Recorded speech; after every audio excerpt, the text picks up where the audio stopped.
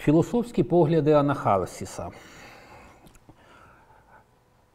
У світлі вище сказано про філософські і культурні традиції в північному Прочорномор'ї закономірним видається той факт, що біля витоків філософії стародавньої Елади стояла людина, яка походила з цих земель. Мається на увазі філософ Анахарсіс, про якого неодноразово згадують е, давньогрецькі джерела, і якого деякі античні греки навіть зараховують до семи мудреців. Згадки і посилання на Анахарсіса зустрічаємо в творах видатних давньогрецьких і давньогримських філософів Платона, Аристотеля, Цицерона, Сенеки, Секста, Емпірика та інших. Про нього згадують і християнські автори античного періоду. Все це говорить про неабиякий авторитет цього мислителя. За свідченням Діогена Лерецького, Анахарсіс написав 800 рядків віршів про скіфські та елінські звичаї в мирному житті та на війні. Правда, ці вірші не збереглися. До нас дійшли лише їхні фрагменти, е, що були представлені як висловлювання Анахарсіса. Те саме, до речі, можемо сказати і про деяких інших філософів осівого часу. І все ж е, маємо достатньо правдоподібних свідчень про цього філософа, тобто про Анахарсіса. До нас дійшло близько 50 висловів, які приписують цьому мислителю. До них відносяться міркування про поведінку людей, людські взаємини, захист власної гідності, про заздрість, значення мови, мореплавство, гімнастику, політику, суспільний устрій, про вино та шкідливість пияцтва і таке інше. Роки життя Нахалсіса припали орієнтовно на VI століття е, до нашої ери. Діоген Леерський писав про нього, що він був сином скіфського царя і матері Елінки. Прибув мислитель до Греції у 48-му Олімпіаду. Через деякий час е, він повернувся з Скіфію, але, так пише Геродот, там через велику любов до всього грецького був запідозрений у намірі відступити від батьківських звичаїв і загинув на полюванні від стріли свого брата, вимовивши такі слова. Розум оберіг мене в Еладі, заздрощі погубили мене на батьківщині. Деякі також вважають, зазначає Діоген Лаерський, що Анахарсіс загинув при здійсненні грецьких обрядів. Більше свідчень про життя цього мислителя подає Геродот. Останній з повагою ставився до Анахарсіса, так е, і до скіфського народу, середовища якого походив філософ. Серед племен у Припонтійських краях, писав він, ми не можемо назвати жодного, хто б уславився своїм розумом, крім скіфської народності і Анахарсія. Далі видатний історик античності розповідав наступне: Анахарсіс об'їздив е, колись більшу частину світу. Під час своїх подорожей він набрався багато мудрості, а потім повернувся до своєї країни, до Скіфії. Пропливши кораблем через Гелеспонд, він приплив до е, Кізіка і, побачивши, як кізікенці святкують вуличне свято на честь матері богів. Анахарсіс дав урочисту обітницю матері богів. Якщо він повернеться живий і здоровий на свою батьківщину, принести жертву так само, як бачив у кізікенців, і що він влаштує е, всенічне святкування. Коли він прибув до Скіфії, то заглибився в так звану Гілею. Ця країна розташована поблизу Ахілесового шляху, і уся вона заросла різноманітними деревами. Отже, туди заглибився Анахарсіс е, і почав справляти свято з усіма обрядами на честь богині, тримаючи в руках тампан і навісивши на себе священні зображення. Коли він справляв ці обряди, його побачив один з ків і повідомив про це царя Савлія. Прибув туди і сам цар, і ледве побачивши Анахарсія, е, що справляв там обряди, вистрелив в нього з лука та вбив його. І тепер, коли хтось питає скіфів про Анахарсія, вони твердять, що не знають його саме через те, що він відвідав Еладу і справляв іноземні обряди. Незважаючи на це, я чув також іще один переказ від пелепонесців, ніби скіфський цар послав Анахарсія в Еладу, щоб він там навчався. І що він скоро повернувся, він розповів тому, хто його послав, що всі еліни стараються придбати всілякі знання за винятком лакедомонців, але лише вони здатні розумно розмовляти. Але такий переказ вигадали самі Еліни. Справді, та людина загинула такою смертю, як я розповів вище.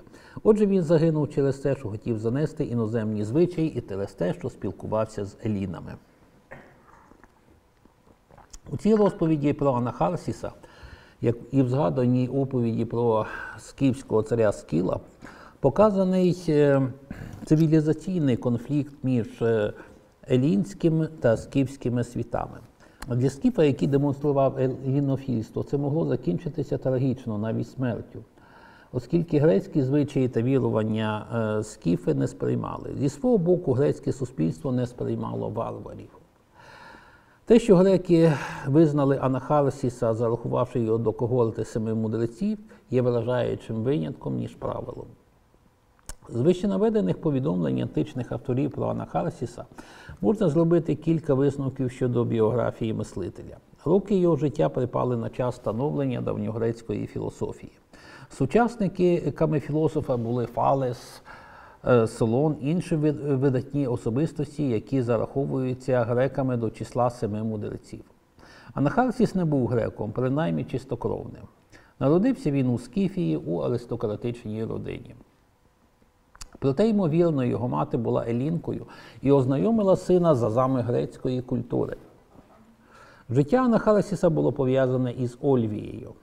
У вищенаведеній розповіді Діогена Лерецького сказано, що мислитель, повернувшись е, на батьківщину із Греції, вирішив справляти релігійні обряди у Гілеї,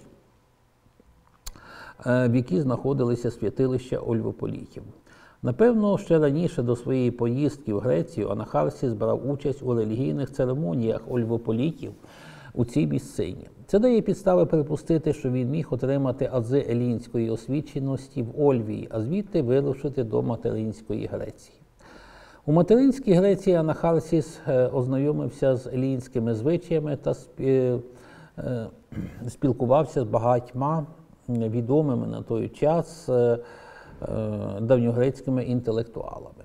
Серед його друзів був видатний афінський реформатор Солон. Проте скіфський мислитель сприймав далеко не те, що було притаманне давньогрецькій цивілізації. Не раз критично висловлювався щодо порядків, які панували серед греків. Та все ж Анахарсіс елінізувався. І це мало для нього трагічні наслідки. Повернувшись у рідну Скіфію, він не знайшов розуміння. За те, що дотримувався грецьких звичаїв, був убитий. Такою непростою виявилася доля цієї непересічної особистості. Непростою також була доля його спадщини. До нас не дійшов поетичний твір Анахарсіса, де він порівнював скіфські та елінські звичаї. Але те, що цей твір е, викликав помітний резонанс, сумнівів немає. Популярність скіфського мудреця була настільки високою, що його ім'я та думки намагалися використовувати для пропаганди своїх ідей представники деяких філософських напрямків, зокрема кійніки. Е, орієнтовно в третьому столітті до нашої ери з'явився твір фальсифікат листи Анахарсіса. Також використовував ім'я Анахарсіса для викладу своїх філософських поглядів Плутарх у своєму творі Бенкет семи мудреців. У листах Анахарсіса та банкеті семи мудреців зустрічаємося зі спробою дати відносно цілісну картину поглядів цього мислителя. Така ж спроба простежується і неодноразово цитованому творі Діогена Лаерецького. Із вказаних творів найбільш автентичними видаються листи Анахарсіса. По-перше, вони виникли в часи ближчі до років життя скіфського мудреця, ніж твори Плутарха чи Діогена Лаерецького. По-друге, листи ніби написані від ім'я, е, від імені Анахарсіса. І це зобов'язувало їхніх творців підлаштовуватися під погляди і стиль мислителя. Щодо Плутарха і Діогена Лерецького, то вони викладали думки Анахарсіса з боку, дистанціюючись від нього. Однак ні Анахарсіс листів, ні Анахарсіс Плутарха, ні Діогена Лерецького не є справжнім Анахарсісом. Це лише краща чи гірша його копія. Вказані е, три відносно цілісні картини доповнюються згадками про скіфського мудреця в творах різних античних авторів. Але ці згадки подаються в конкретних контекстах для демонстрації, підтвердження чи заперечення якихось поглядів. І мають вони не однакову цінність. Більшість цих свідчень збігаються з тими, що про Анахарсіса говорили листи, писали Плутарх та Діоген Лаерцький. Але є деякі згадки, котрі випадають за межі цих е, загально прийнятих свідчень. Окремі ж фрагменти свідчення мають не дуже правдоподібний характер. Загалом образ Анахарсіса став невід'ємною частиною символічного світу стародавніх греків. Ну і не тільки греків, але й римлян. Звісно, е, Анахарсіс був міфологізований, а в процесі розвитку античного суспільства зі зміною запитів і потреб е, цей образ його піддавався корекції. Проте за будь-яким міфом стоять певні реалії, факти, що виявлялися е, суспільно резонуючими і послужили поштовхом для міфологізації особи. Як правило, такими фактами є страждання за погляди, мученичеська смерть тощо. Саме мученичеська смерть стала чи не основним чинником міфологізації Сократа, який перетворився у символ античної філософії. Те саме можна сказати про Анахарсіса. Його смерть на батьківщині після повернення з Греції сприймалася елінами як смерть за віру, переконання і стала поштовхом для творення міфу про Анахарсіса. Незважаючи на певну елінізацію Анахарсіса, його скіфське бачення е, часто шокували греків і водночас подобалися їм. Адже мислитель ніби давав грекам змогу подивитися на себе збоку, побачити у своєму житті нерозумні речі, е, що сприймалися як звичні. Е, говорити про існування Ванахарсіса цілісної філософської системи складно і проблематично. Але це був період, адже це був період осьового часу, коли тільки зароджувалася філософська думка. Проте, ймовірно, Анахарсіс виробив оригінальну систему поглядів. Висловлювання, приписувані йому, становлять певну е, цілісність і не співпадають з тими думками, які приписуються іншим мислителям архаїчного періоду.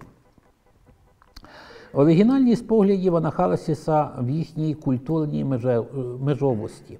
Він протиставляє мудрість варварів скіфів мудрості античних греків, розуміючи як одну, так і другу. Саме в цьому протиставленні народжувалися справді незвичні для. Е, цивілізованих греків думки. Проте завдання Анахарсіса не шокувати. Він, висловлюючи ті чи інші міркування, виходив з принципу розумності, тобто відповідності речей здоровому людському глузду. Це зближувало скіфського мудреця з ранніми античними філософами, які намагалися раціонально пояснювати світ, не посилаючись на потойбічні сили. У чому Нахарсіс бачив нераціональність поведінків греків?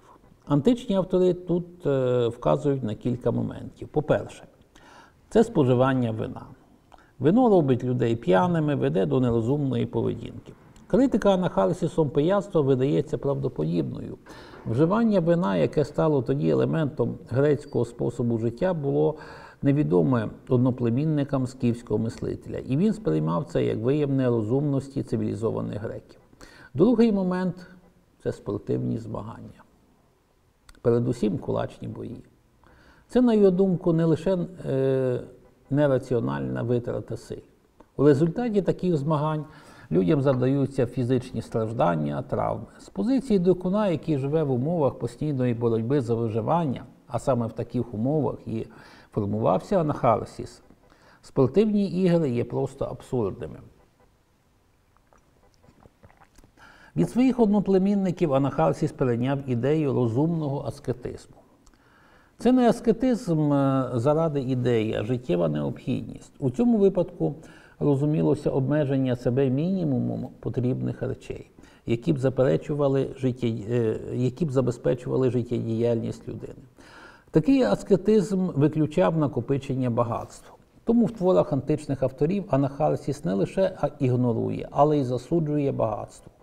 У них він е, стає символом безсрібника і протиставляється особі царя Ксеркса, який у свою чергу в очах Еліні був символом багатства. Ще один аспект філософських поглядів Анахарсіса це етичний практицизм. Мислитель, очевидно, вважав, що сенс життя людини це благодіяння. Людина не повинна розмінювати себе на розваги, непотрібні спортивні ігри тощо. Своїми діяннями людина мусить полегшувати життя інших людей. Тому корисні винаходи є надзвичайно цінними. Анахарсіс високо цінував їх на відміну від освічених греків е, класичного періоду, які зневажали фізичну працю. Через високу оцінку Анахарсісом низки практичних винаходів з часом ці винаходи почали приписуватися йому, зокрема, винахід якоря, гончарного кола і таке інше.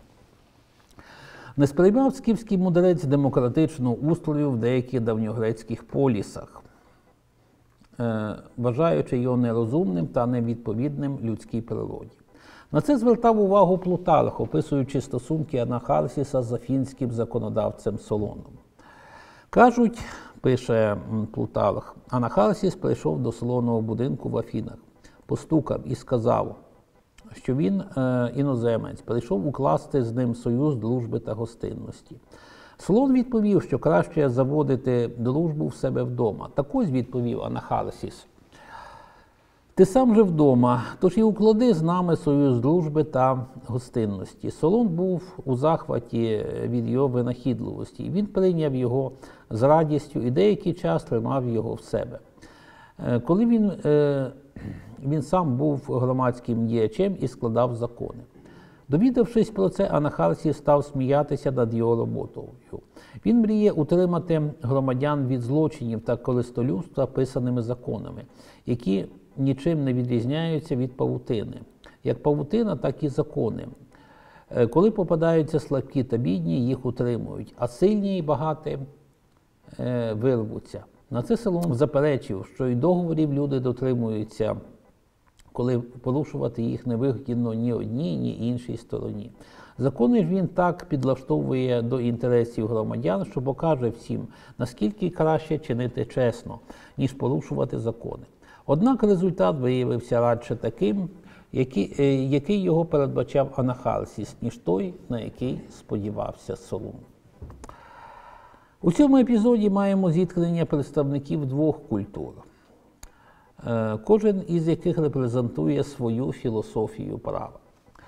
Солон е, фактично предтеча західноєвропейського підходу, дотримується думки, ніби можна створити закони, які б відповідали інтересам громадян держави, укласти своєрідний суспільний договір. А це, в свою чергу, є основою правової держави. Анахарсіс вважає такий підхід ілюзорним.